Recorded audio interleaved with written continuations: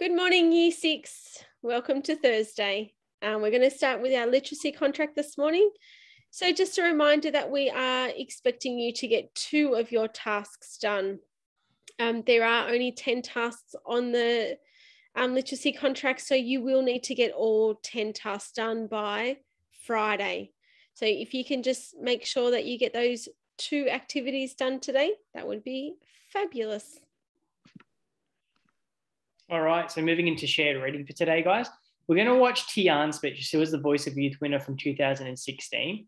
So Mrs. Moore and I have watched this, and from our analysis of it, we believe that it's the actual delivery of Tian's speech that wins her the competition, as opposed to the content that she has in her speech.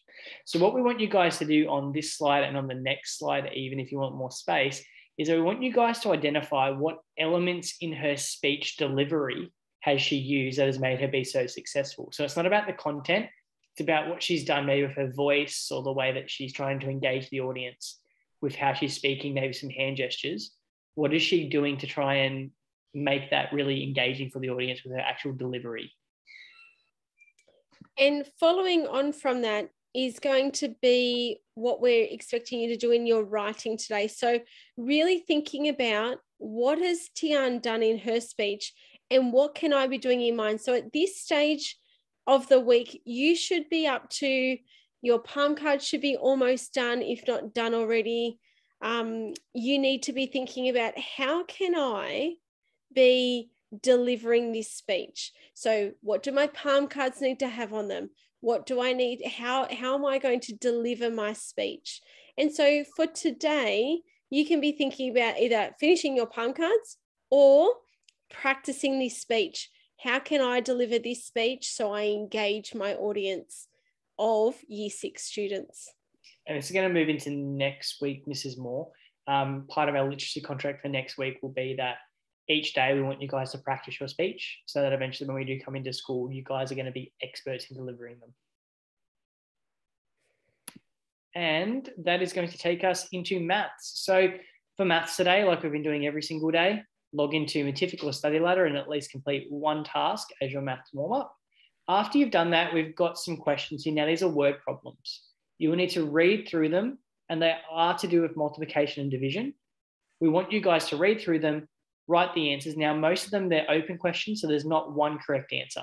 There's multiple correct answers. So as you can see, the first question, we want you to give at least three different options to how you can answer it. Same with the uh, second question, three different options of how you can answer that question.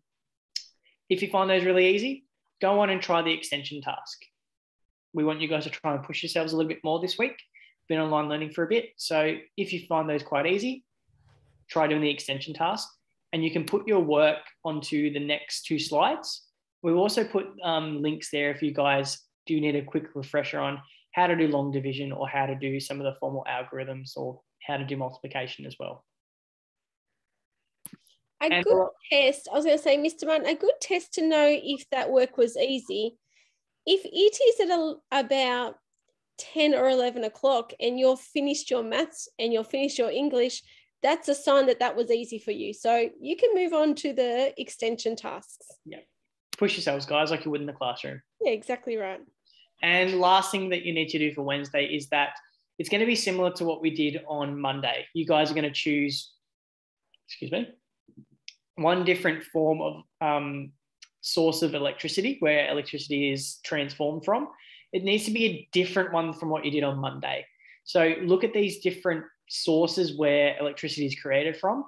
And Mrs. Moore and I have put links in here to some websites. But as we've said before, you guys can do your own research if you don't want to use that website. You want to find a little bit more you can use your own websites. Choose one of them and then put your research onto the next slide. And that is all for Thursday. So getting towards the end of the week, we'll see you guys tomorrow morning at 9.30 on our Zoom meeting. Thank Enjoy you. your day. Take it easy. Bye. Bye.